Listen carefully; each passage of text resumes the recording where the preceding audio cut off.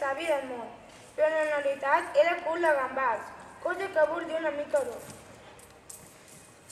En el temps d'aquest rei rondava pel món un home estrany, es deia Silé, cantava en d'ells que tenia poders màgics. Un dia després, de molt caminar, es va perdre. Estava molt cansat i tenia molta gana.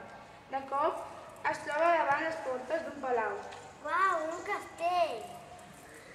Era el palau del rei Mides, un conegut seu.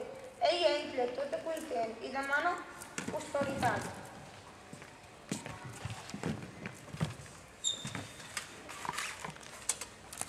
Té, menja.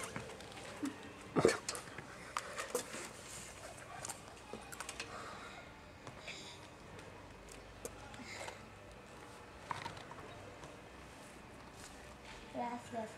Et deixo que tinguis un desig. Mm, de veritat? Em penso que ja sé què triaré. Vull que totes les coses que toquis es converteixin en. Contadit.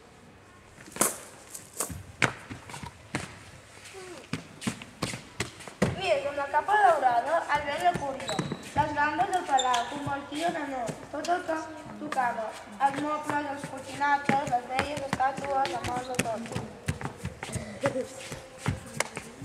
Mides es tornava boig d'orgull, però no podia deixar de pensar que les paraules que havia dit el màgic Silé quan havia que hi havia moltes coses bones a fer.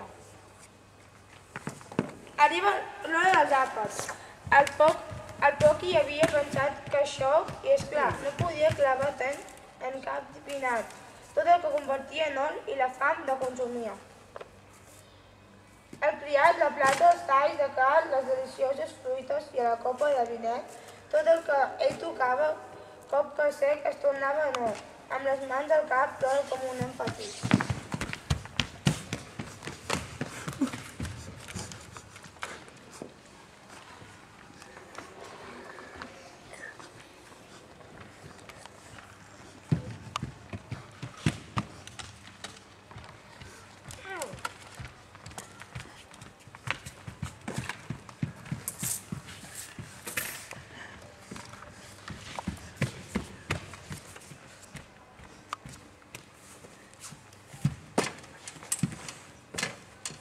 Per fi, despertat, decidí consultar un oracle.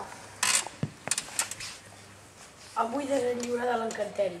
Te tens que banyar a les aigües del riu Boctol. I el rei Mides així ho va fer, i ràpidament queda lliure. I diuen que les aigües del riu sempre més van brillar amb l'or que el rei Mides i, i deixa que banyar.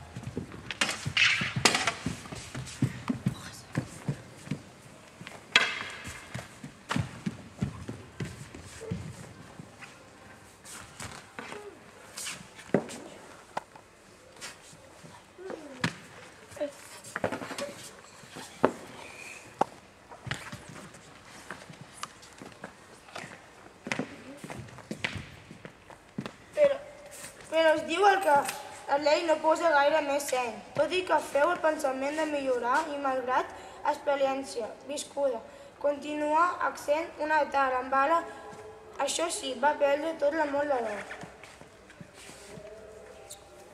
Va ser...